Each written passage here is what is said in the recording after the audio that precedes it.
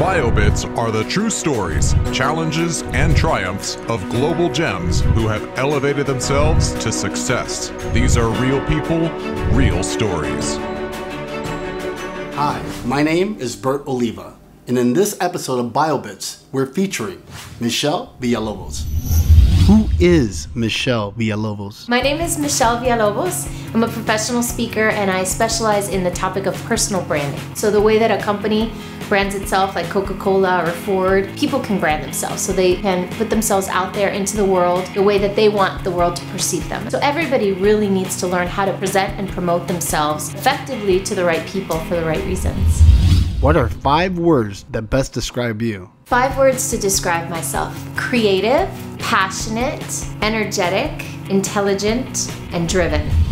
How did you get your start?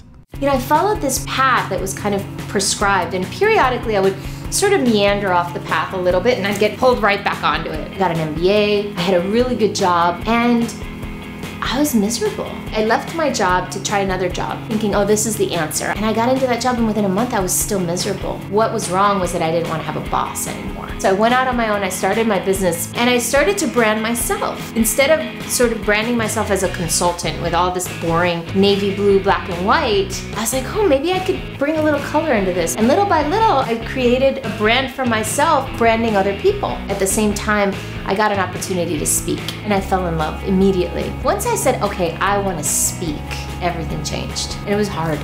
It took a lot of years. Who have been some of your mentors? Had a lot of great mentors.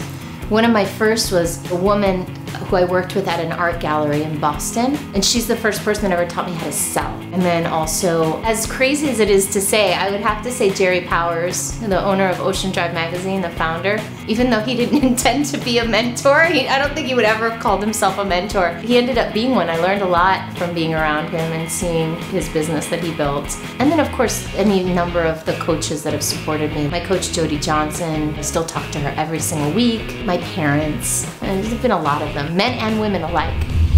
How do you best serve your clients?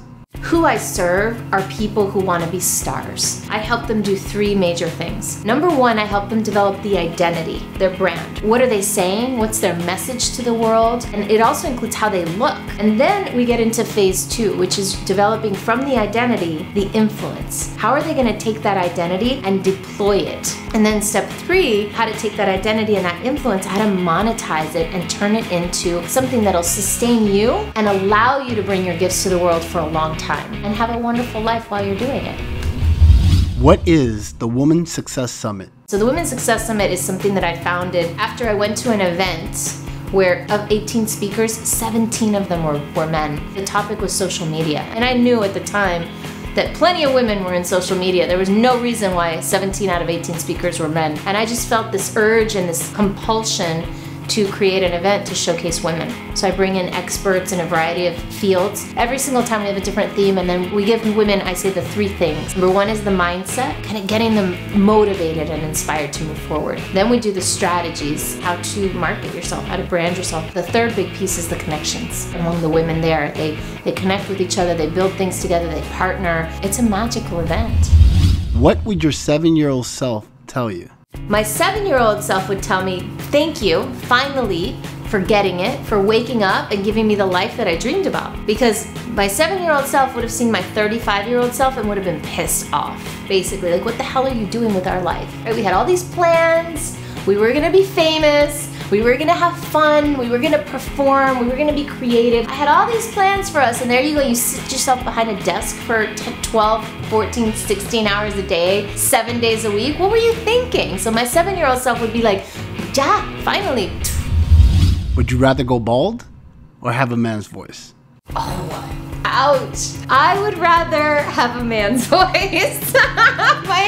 My hair, my hair. When I was in second grade, I was eight years old. I will never forget this. My dad's blow dryer. It had a brush attached to it. So I would just run this thing through my hair every morning. And within a few months, I had burnt my hair to a crisp. There's no other way to put it. So she takes me into the hairdresser. She's like, what's wrong with my daughter's hair? And the woman's like, oh my God, her hair's burnt. She, my mom said, well, can you fix it? She said, no, we can only cut it off. They cut it to like boy cut. And I cried for weeks because everybody thought I was a boy. That was traumatizing. So yeah, I'd rather have a man's voice. I can make that work. If your life was a movie, what would be the title?